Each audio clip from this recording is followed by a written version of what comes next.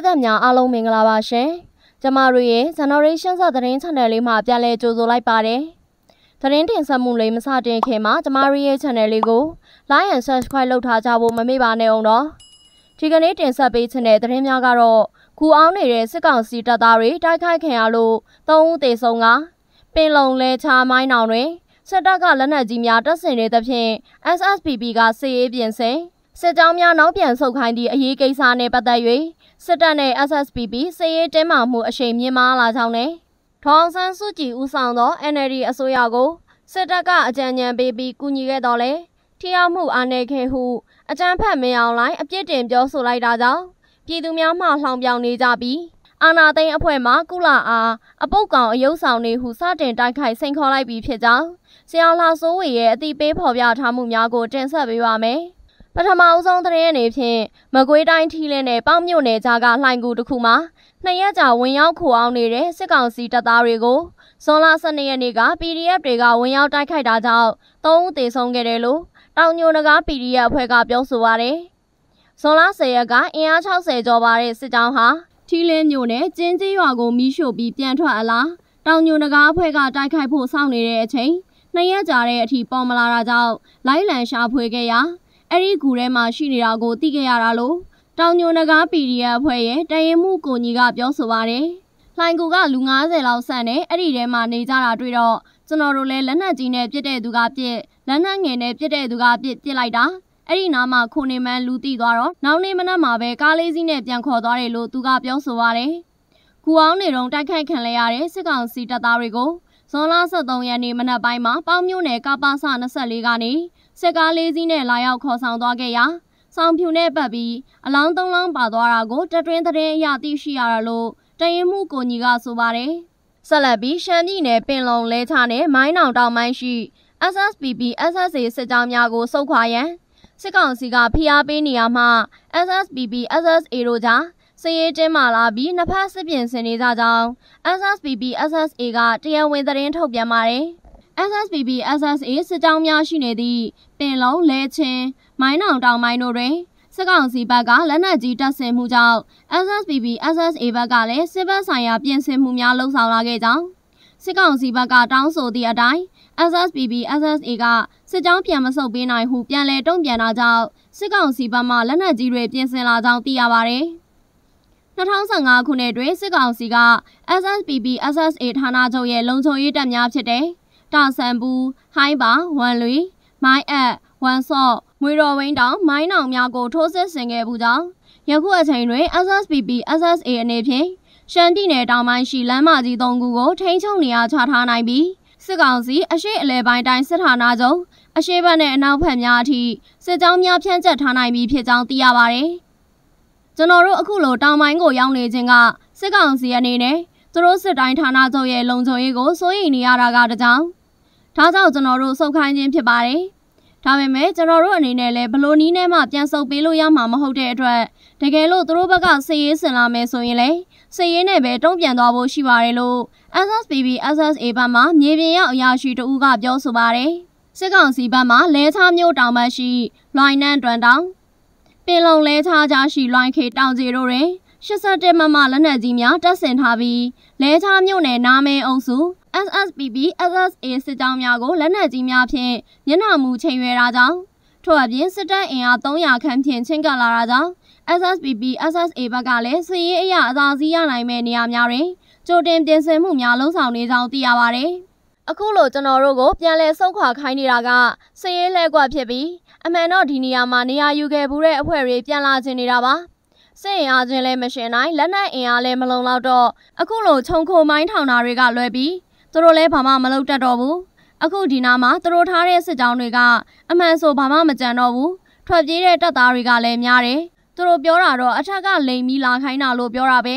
လာခိုင်းတော့ကတော့ဒီမှာအင်အားတောင်းသလိုလိုနဲ့တကယ်တမ်းရောက်လာတော့လူအင်အားနဲ့တော့ကြောက်ပြီးထွက်ပြေးကြတာပေါ့ကျွန်တော်တို့စီကိုလာရောက်ခိုလုံတဲ့သူတွေလည်းရှိပါတယ်သူတို့ဘက်ကကွန်မန်ဒိုအယောက်60လွှတ်လာတယ်လာခိုင်းတော့ကစစ်ကူ600မြေပြင်မှာအစင်သက်ရှိထားပြီးဆိုပြီး သူတို့ကတော့အရင်ချုံခိုမိုင်းထောင်ခိုင်းတယ်သူတို့လည်းပြန်မထွက်နိုင်တာနဲ့လာရောက်ပူးပေါင်းထားတာကျွန်တော်တို့စီမှာအများကြီးရှိပါတယ်လို့ SSPB SSA ဘက်မှမြေပြင်ရောက်အရာရှိတဦးကပြောဆိုပါတယ်နောက်ထပ်ထပ်မံသိရှိရတဲ့သတင်းအရလူလူကောင်းဆောင်ဒေါအောင်ဆန်းစုကြည်ဦးဆောင်သော NLD အစိုးရကိုစစ်တပ်ကအကြံဉာဏ်ပေးပြီးကူညီခဲ့တော်လဲထိရောက်မှုအားနည်းခဲ့သည်ဟုအကြမ်းဖက်မင်းအောင်လှိုင်ကအပြစ်တင်ပြောဆိုလိုက်ပါတယ်။ဇွန်လ16ရက်နေ့နေပြည်တော်တွင်ပြုလုပ်သော စစ်အရာရှိငယ်များနဲ့တွေ့ဆုံပွဲတွင်အကြမ်းဖက်မင်းအောင်လှိုင်ကထိုကဲ့သို့အပြစ်တင်ပြောဆိုခြင်းဖြစ်ပါတယ်။စစ်တပ်ကဒီမိုကရေစီကိုဖော်ဆောင်ပေးသူဖြစ်ကြောင်း2015ရွေးကောက်ပွဲအနိုင်ရ၍တက်လာသော NLD အစိုးရတပ်တန်းတွင်စစ်တပ်၏ဖြတ်တန်းတွေ့ကြုံခဲ့ရသည့်နိုင်ငံရေးအတွေ့အကြုံများအရာဖြစ်သင့်ဖြစ်ထိုက်သည်များလှုပ်သင့်လှုပ်ထိုက်သည်များကိုအကြံဉာဏ်ပေးခြင်းကူညီပေးခြင်းများဆောင်ရွက်ခဲ့တော်လဲထိရောက်မှုအားနည်းတာကြောင့် COVID-19 ရောဂါဖြစ်ပေါ်ခဲ့ချိန်တွင် စစ်တပ်ကအစိုးရဖွဲ့ကိုကူညီခဲ့ကြောင်းမင်းအောင်လှိုင်ကပြောဆိုပါတယ်။အကြံဖက်မင်းအောင်လှိုင်ပြောဆိုလေးရှိသော2020ရွေးကောက်ပွဲတွင်မဲမတမာမှုကိုဖြည့်ရှင်းမပေး၍အာဏာထိန်ရသည်ဟုသောအချက်ကိုလည်း၎င်းတွဲဆောင်ပွဲမှာထည့်သွင်းပြောဆိုသွားပါတယ်။အဲဒီနောက်ဆရာနာသိန်းအဖွဲ့မှကုလသမဂ္ဂအားအပုတ်ကောင်ရုပ်ဆောင်တွေဟုစတင်တိုက်ခိုက်စိန်ခေါ်လိုက်ပြီးဖြစ်ကြောင်းဆရာလာစိုးဝေမှအခုလိုအသိပေးဖော်ပြထားပါတယ်။ဆရာနာသိန်းအဖွဲ့သတင်းမီဒီယာမှ ကုလသမဂ္ဂသည်ပုတ်သွေးဆွေးမြေ့နေသောအဖွဲ့အစည်းကြီးဖြစ်သည်ဟုပြောဆို၍စိန်ခေါ်လိုက်ပြီးဖြစ်သည်။မကြသေးမီကမြန်မာအာဏာသိမ်းအဖွဲ့အပေါ်ကုလ၏တာဝန်ပြက်ကွက်မှုများများပြားနေပြီဟုဝေဖန်မှုများထွက်ပေါ်လာချိန်တွင်စဉ်းစားဆင်ခြင်ဉာဏ်မရှိပြောဆိုလိုက်ခြင်းပင်ဖြစ်သည်အင်္ဂလိပ်ဘာသာဖြင့်ထုတ်ဝေသော Global New Light of Myanmar သတင်းတွင်နယူးယောက်ရှိကုလဌာနချုပ်ရဲ့ဓာတ်ပုံကိုဖော်ပြပြီး Pictures of Irrelevant အပေါ်စာသားဖြစ်နေသောအဖွဲ့ပုံဟုရေးသားထားသည် အတွင်းတွင်တဘိုရဲကြီးအတ္တများကူးဆက်ခံရပြီးပုတ်သိုးလိုက်စားနေသည်ဟုလည်းပါရှိသည်အာနာသိန်းအဖွဲ့သည်၎င်းတို့ခြေချမရသည့်ကမ္ဘာအဖွဲ့အစည်းအားပြောင်ကြားကြတိုက်ခိုက်လိုက်ခြင်းဖြစ်ပြီး၎င်းသည်နှစ်ကြောပြန်ခံသွားရမည်အရေးကိုထဲတွက်ခဲ့ခြင်းလည်းမရှိပေကုလာသည်အတွင်းမှုချုပ်၏အထူးတနမန်ကိုခန့်အရန်စဉ်းစားနေသည့်အချိန်တွင်၎င်းကဲ့သို့တိုက်ခိုက်လာနေမှုကြောင့်၎င်းတို့အပေါ်ဆရာနာသိန်းအဖွဲ့ကမခံလေးစားလှုပ်လာနေပြီဆိုသည်ကို အချိန်မီသိရှိအောင်သတိပေးလိုက်ရလဲရောက်သွားသည်ကုလအဖွဲ့အစည်းအသီးသီးတွင်ထိတ်တန်းနေရာများရယူနိုင်အောင်ကြိုးစားနေသောတရုတ်အားလည်းအကြီးအကျယ်ထိခိုက်သွားလေပြီထို့များမကသည်နိုင်ငံပေါင်း193နိုင်ငံမှတန်မတ်ကြီးများခန့်အပ်စေလို့၍ကဘာရေးရာများတိုင်ဝင်ဆွေးနွေးနေကြမှုကိုလည်းဒေါ်စင်ရေးကျောင်းထွန်များကစော်ကားလိုက်ခြင်းပင်ဖြစ်သည်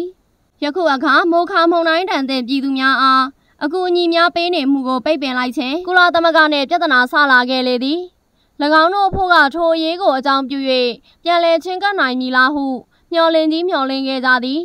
ထင်သလိုဖြစ်မလာသည့်အခါထိုကဲ့သို့တိုက်ခိုက်လိုက်ခြင်းပဲဖြစ်သည်၎င်းတို့အားအပြော့ဆွဲနှင့်နိုင်ငံတွင်းအခြေအနေများတည်ငြိမ်အောင်စိစက်ဆွေးနွေးရေးလမ်းကြောင်းဖြင့်ကြိုးပမ်းရန်ကြံစီနေသောကုလသမဂ္ဂအဖို့က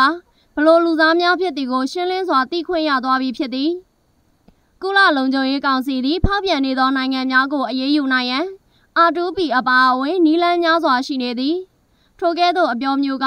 ဆရန်ဟူစိန်နှင့်ဂရာဘီတို့ထံမှလည်းကြားခဲ့ရပြီးဖြစ်သည်ယခုအခါစစ်ကောင်စီသည်ထိုလန်းချောင်းကိုတသွေမတိန်ရှောက်လန်းလာခဲ့သည်နိုလီဟေစာနှင့်ပတ်သက်၍အမည်မဖော်လိုတော့လေအခုအပတ်တွင်နောက်ထပ်တစ်ယောက်လည်းညီကုန်းချုပ်သွားခဲ့ပြီးဟုပါရှိသည်ထပ်မံ၍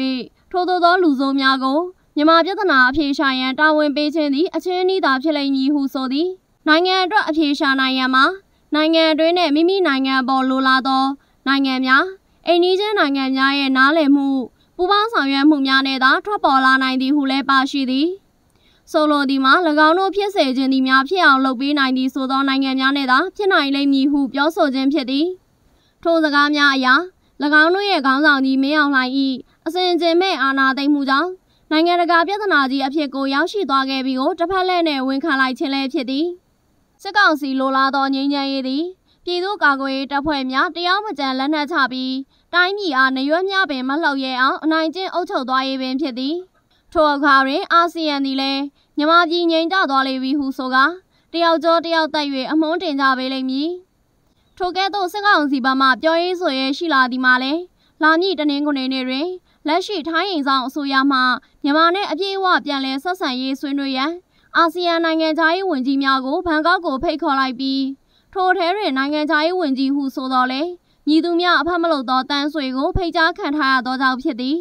ထိုသတင်းအားဇွန်လ14ရက်နေ့နေ့စွဲဖြင့်ထိုင်းနိုင်ငံသားရေးဝန်ကြီးထွန်ပရာမူတွင်နိုင်ကကြံဖွဲ့ဝင်နိုင်ငံများကိုပေးပို့သောစာမှတဆင့်ရိုက်တာသတင်းဌာနသို့ပေါက်ကြားသွားခဲ့သည်အဖွဲ့ဝင်နိုင်ငံများသည်အင်ဒိုနီးရှားအားလည်း၎င်းတို့မျက်နှာပျက်စရာဖြစ်လာနေသောမြမအရေးကိုဖြည့်ရှင်းပေးနိုင်လိမ့်မည်ဟုအာကိုတကြီးမျှော်လင့်ခဲ့တော်လဲ ဘာမှမမေရတိုးတက်မှုမရှိသွေးတိုးဆန်းနေသည်နှင့်သာအချိန်ကုန်လာသဖြင့်ဘာလို့၍ဘာကန်ရမှန်းမသိဖြစ်လာနေသည်ကိုအခွင့်အကောင်းယူကာထိုင်းမှမြမအားခေါ်၍မျက်နှာချင်းဆိုင်ဖြည့်ရှင်းသည့်နီလန်းသာကြံတော့သည်ဟုကလဖန်ထိုးလာခြင်းပင်ဖြစ်သည်မြည်သည့်နိုင်ငံများတက်ရောက်မည်ကိုတိတိကျကျမသိရှိရသေးပေသို့သောလူအခွင့်အရေးစောင့်ကြည့်အဖွဲ့မှအာရှတာဝန်ခံဖြစ်သူဖီရိုဘတ်ဆန်မှလည်း၎င်းသည်တခြားနိုင်ငံများကရှောင်ရှားနေကြသည်ကိုတိတိကြီးနဲ့ ထိုင်းနိုင်ငံသားရေးဝန်ကြီး၏မောက်မာမှုတသက်ဖြစ်သည်ဟုဝေဖန်လိုက်ပြီးထိုကဲ့သို့လုံရများကြောင့်အာဆီယံကြိုးပမ်းနေသမျှတိုင်းသည်အနောက်ရှက်ခံနေရခြင်းသာဖြစ်သည်ဟုဝေဖန်လိုက်သည်အေယာဝတီသတင်းရဲ့အဆိုအရစကိုင်းတိုင်းစားတောင်မြို့နယ်တာစင်ကျေးရွာကိုချင်းကပ်လာသောအင်အား130ရှိရန်သူစစ်ကြောင်းအားပြည်သူ့ကာကွယ်ရေးတပ်ဖွဲ့များမှထုံနှုတ်ရွေးချယ်ထားသောလက်ရွေးစင်ကွန်မန်ဒို35ဦးမှခြုံခိုတိုက်ခိုက်သဖြင့်ထိခိုက်ကြဆုံးမှုများစွာနဲ့ပြန်လည်ဆုတ်ခွာသွားပြီး စုံလန်းတလျှောက်ရွာများကိုမိတင်ရှို့သွားကြသည်ဟုသိရသည်ပြည်သူတို့၏ခုခံတော်လှန်စစ်မုံချအောင်ရမည်ဆိုပြီးအတိပေးရေးသားထားတာပဲဖြစ်ပါတယ်ဟုတ်ကဲ့ပါရှင်အခုလိုဆုံးထိနာဆင်ပေးတဲ့သတင်းပရိသတ်များကိုအထူးကျေးဇူးတင်ရှိပါတယ်နောက်ထပ်ပြည်တွင်ပြည်ပသတင်းတော်လှန်ရေးဘတော်သားများရဲ့သတင်းများနဲ့အတူပြန်လာခဲ့ပါမယ်အားလုံးပဲကိုစိတ်နှဖျားရှင်လန်းချမ်းမြေ့ကြပါစေရှင်